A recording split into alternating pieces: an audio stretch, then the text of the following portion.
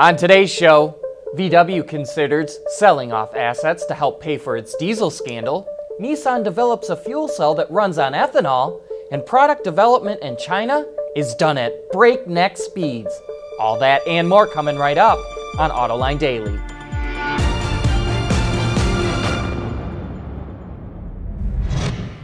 This is Autoline Daily for June 15th of 2016. Volkswagen's diesel scandal is going to be expensive. Some analysts predict it will cost the company $70 billion to reimburse customers and pay fines and legal fees. In an effort to pay for that, Bloomberg reports that VW plans to combine the components units of each of its brands to cut costs and boost efficiency. The company is also reviewing its brand portfolio to see if it wants to sell non core assets, which could include Ducati, MAN Diesel and Turbo, and its propulsion brand, MAN Renk. It also may consider an initial public offering of its commercial vehicle business. VW CEO Matthias Mueller presented the plan to the supervisory board yesterday and is expected to make an official announcement tomorrow. You know, people increasingly want their cars connected to all the things they do, and now Verizon is making it easier for small business owners to manage their fleet. The company recently launched Expressfleet, which is a device that plugs into the onboard diagnostic port. It provides maintenance reminders, diagnostic reports, monitors unsafe driving behavior, and also helps locate the vehicle if it's stolen. The service costs $18 a month per vehicle. And still to come, a look at how product development times in China put a huge amount of pressure on designers. Autoline Daily is brought to you by Bridgestone Tires, your journey, our passion. Dow Automotive Systems, advanced materials that deliver better results and by Lear, a global leader in automotive seating and electrical systems. As we've discussed, the Chinese car market is much different from what we're used to here in the US. Recently on Autoline This Week, we were joined by the heads of design at Chery, Geely, and GM Shanghai. In the following clip, they talk about how much faster vehicles make it to market. It's amazing the, the, the speed, the cadence of things that happen here and uh, it's I'm learning a lot that I'm I'm hoping to help you know the home base learn as well because the market here moves so quickly. Every day I'm on the road, it seems like I see a new badge on a car I haven't seen before. We did a, a, a study internally just to try to figure out how big is the C segment market here in China.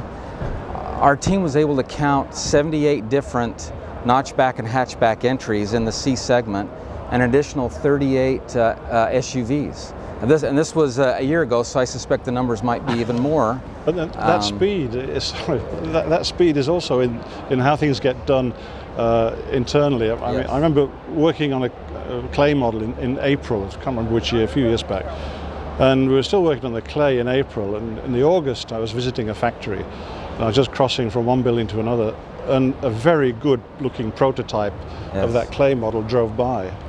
Yes. I thought, how on earth is that done? it's spectacular. Yeah. The speed. Very similar yeah. experiences where you're tuning a clay model and all of a sudden you see a prototype yeah. drive by and you're.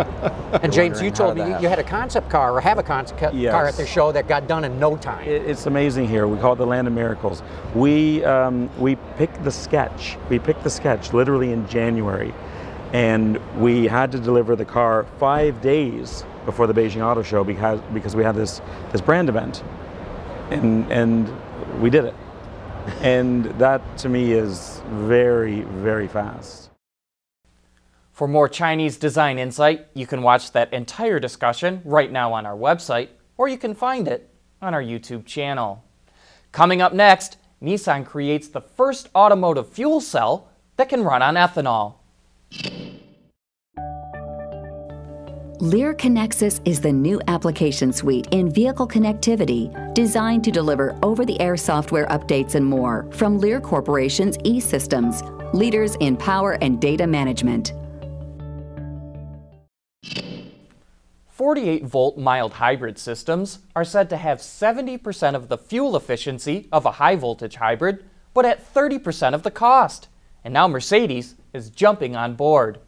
Next year, the automaker will come out with a new family of gasoline engines that will have a 48 volt system. It will be used to power functions like brake regeneration, stop start, and electric boost. No word yet what vehicle will get the system first, but it will likely be a high end model. You know, we're seeing more automakers test out fuel cells, but there's still an issue with fueling infrastructure. Now, Nissan may have come up with a solution. It's developing a fuel cell that can run on multiple fuels, mainly ethanol and natural gas. The system generates electricity through its solid oxide fuel cell using stored bioethanol. Solid oxide refers to the cell's electrolyte material.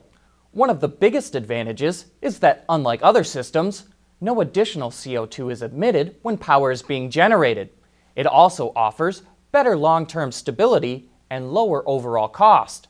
Disadvantages include higher operating temperatures that result in longer startup times and mechanical and chemical compatibility issues.